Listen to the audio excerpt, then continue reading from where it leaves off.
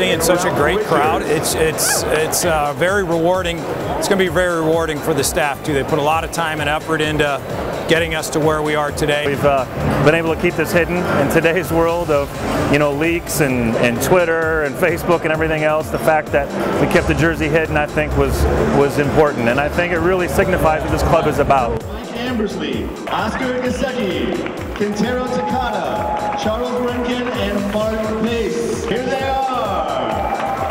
I think putting a jersey together is was a challenge. You know, everybody's got their thoughts, everybody's got their ideas. What's it got to look like? But for us, it was it was pretty easy. We knew it, it had to really grab the city. It had to be about St. Louis. I think it looks great. I think it's uh, I think it's something that people are really going to like. I think it connects the, the city of St. Louis to the team, and just I, th- I think they're going to really like it because they were also a part of uh, the logo. You know, so they, they were they were able to vote on that. So I think they're really going to like it. What do you think of the new jerseys? Oh, I love them. I think they're awesome. I think it's really unique how they incorporated the St. Louis flag into the to the red collar and the yellow numbers. So I think it's really cool.